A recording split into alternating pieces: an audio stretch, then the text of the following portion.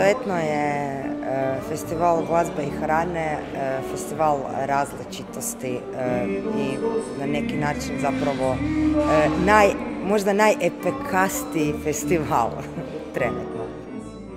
Pa to znači zapravo da smo mi, evo, s obzirom da se sad nalazimo u prostoru Rikarda Benčića, uspjeli spojiti gotovo sve teme EPK projekta. Dakle, spojili smo rad sa migracijama, voda nas je potjerala unutra, a festival se zove Porto kao luka. Dio, dakle, glazba i hrana, to je nešto za što nam nije potrebno poznavanje nekog jezika da bi mogli razumjeti tuđu kulturu i možda na najbolji način e, kroz ta dva elementa možemo se upoznati sa drugim i drugačijim.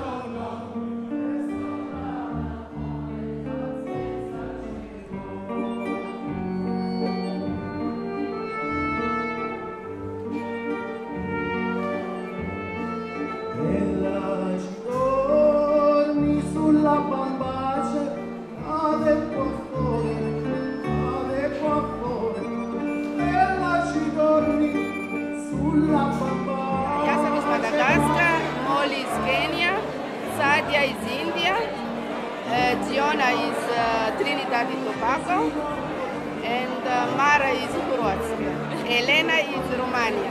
A ja sam pripremila juha od kikiriki. To je jedan recept koji sam naučila od bake, tako da nadam se da će biti fino. Trenutno nas ima, kažem, do, do 50, ajde, da, da, da, svi smo se angažirali, kuharice, plesači, pjevači, orkestar, naša djeca iz osnovne škole, djeca iz srednje što uče makedonski jezik, svi smo tu.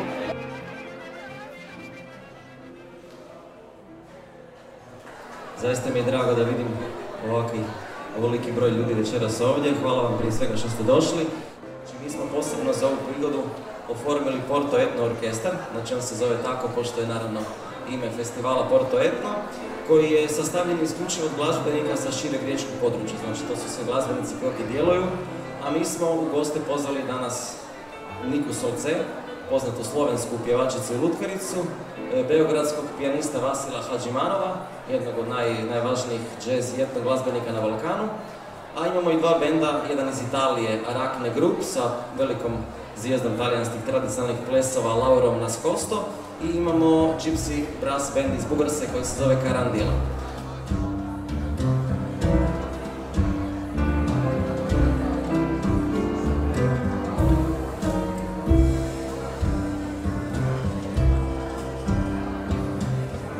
Svirao sam u Rijeci e, jedan put sa grupom Darko Dub, dok sam bio član grupe Darko Dub a jednom sa grupom Trio Sveti u Morskom prascu. Dole je bilo jako interesantno.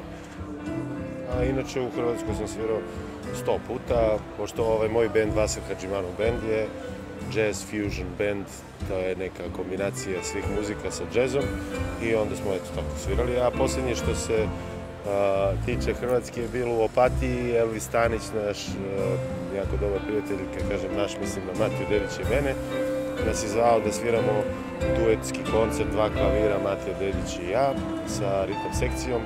Zoran je radio sa Matijom e, mi smo se upoznali baš u Opatiji na tom koncertu i eto Zoran je bio tako pristojan i dobar da se javi, da me pozove da, da se pridružim njegovoj skupini i ovom divnom koncertu.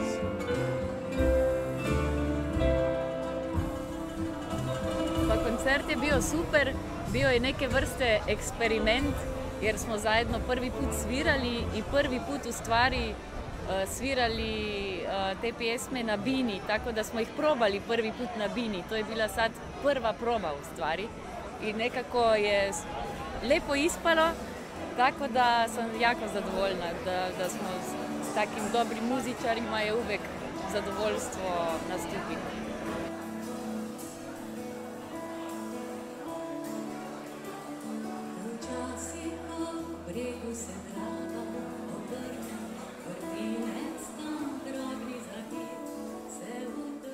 Iza Porto Etna stoji zapravo jedan veliki tim ljudi. E, idejno, e, Zoran Majstorović i ja smo došli na ovu ideju sasvim slučajno dok smo pili kavu jedanput.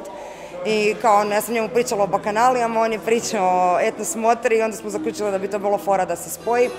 ali tu je Sonir Srdoć koji je, e, znači, ubio se od posla ovih dana i ne znam koliko mu mogu zahvaliti i na, svem, na cijelom trudu i postoje zapravo dio te naše male ekipice, dakle sad nas je troje, a ima nas zapravo sedam jer tu su i četiri spajsice, odnosno cure iz udruge manufaktura koje se isto pretrgavaju od posla sve ove dane. Sve je ispalo kako treba, čak i iznad mojih očekivanja, iskreno e, kad smo ušli u prvi put u ovaj prostor, svi smo zaplakali na trenutak jer je bilo bio u groznom stanju, ali eto, e, imamo zaista odličnu ekipu koja radi na svemu ovome, koji su onako dali e, zadnji atom od sebe da se ovaj prostor sredi i da ovaj festival bude najljepši početak nekog novog festivala.